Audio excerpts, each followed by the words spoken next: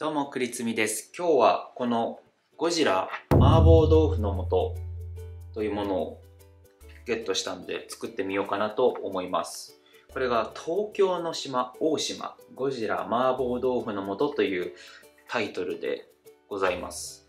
84年のゴジラも確かそのゴジラがその確か三原山あれかなにそのまま落ちてそこで一回封印されてで89年のビオランテでまた噴火して蘇ってきたっていう、えー設定だったんでなんでなんか大島とゴジラがコラボしたって感じのやつなんですね。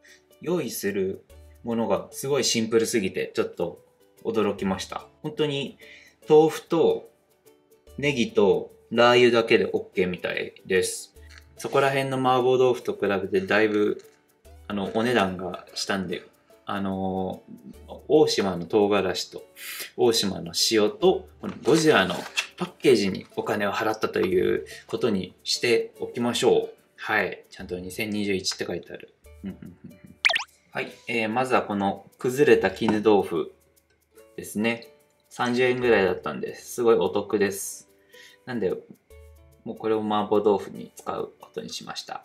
でなんかあのー豆腐って結構お湯で茹でるといいらしいって感じだったんでなんか昔から麻婆豆腐作るときはお湯で一回こう沸かしてやってます。ネギはなんかあのーいっぱい使おうかなと思います。なんであ半分ぐらいでいいかな。半分ぐらいでしょう。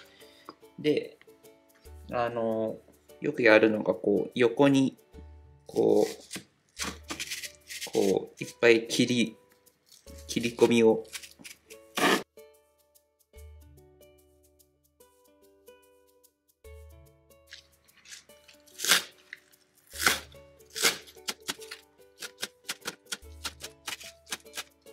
はい。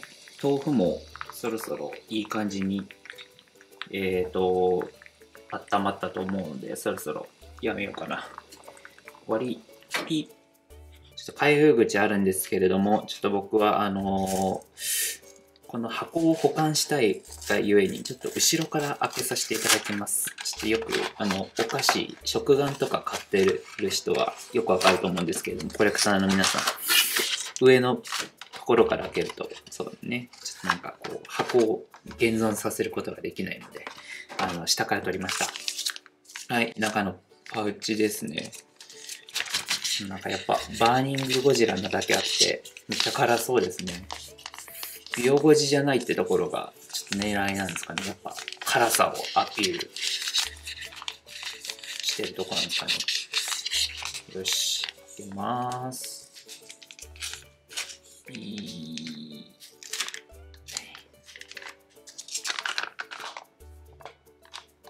わマグマが。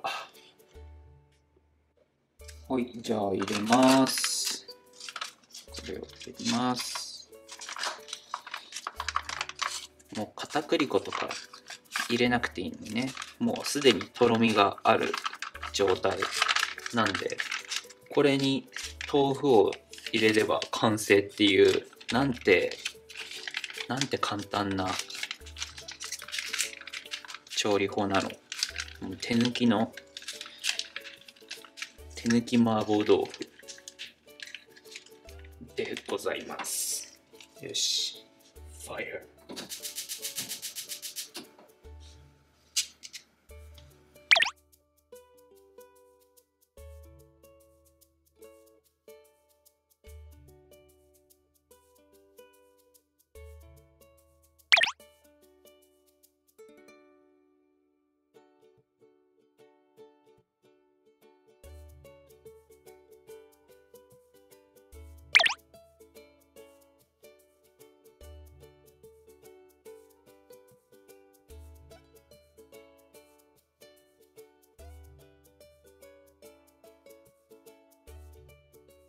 はい、ではできたので、よそっていこうと思います。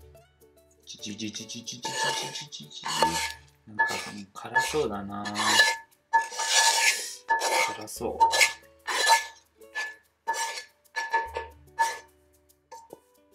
う。よし。あの、お好みでまたラー油を、またちょっと、ちょっと多めに。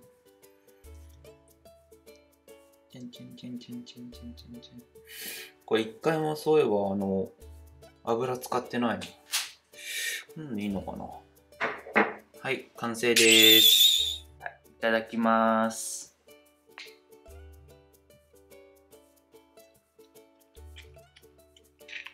うんないうわ辛っあああ辛っちょっと待ってうん。辛いね。辛い？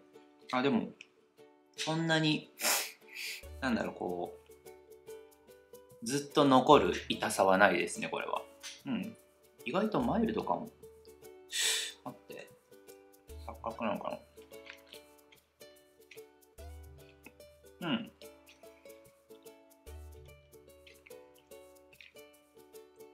あいけるかも。うん。辛いけどなんかそんなに激辛って感じではないですねこれは。うん。あのバーニングゴジラぐらいのなんかもうメルトダウンしそうなやばいものなのかなと思ってましたが。全然これはいけそうです。うん。うんうんうん。このバーニングゴジラのパッケージの麻婆豆腐を作ってみました。カレーとタバスコも確か売ってたのであのー、ちょっと次回トライしてみようかなと思います。ちなみにこれ500円でした。500円。プラス30円の豆腐にえー、安売り。60円で買ったネギとラー油を使っただけなので、うん、これだけがちょっと高かったですが気になった方はこれトライしてみてはいかがでしょうか。そんな辛くないです。うんいけますこれは。はい。ってことで以上となります。ありがとうございました。